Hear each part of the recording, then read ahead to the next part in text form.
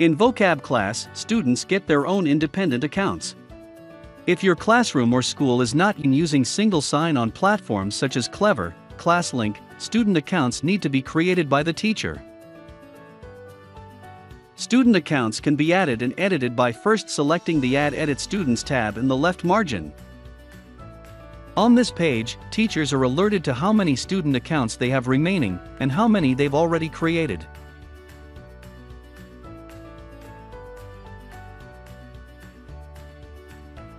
Once a student account is created, the student can visit vocabclass.com, select the Login tab, click Student, and enter their assigned username and password.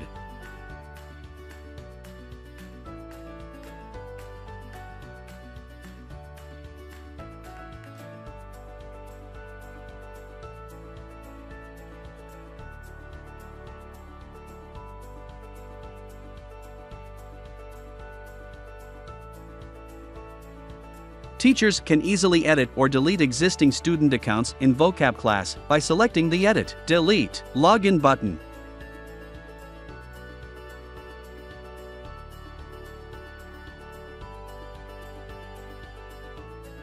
After modifying existing student accounts, make sure to click the blue Update button to save all your changes.